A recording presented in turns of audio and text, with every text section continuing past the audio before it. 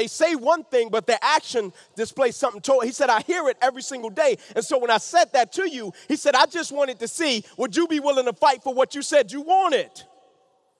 He said, I just wanted to see would you be willing to fight for what you said you wanted. Like I heard you say it, but I wanted to see when I said that to you, would you retreat and say, you know what, man, you probably right, or will you step up and walk with me and tap me on my chest and say, I'm telling you, you got the wrong guy. Like in the process of whatever we want, will we be willing to fight for what we said we wanted?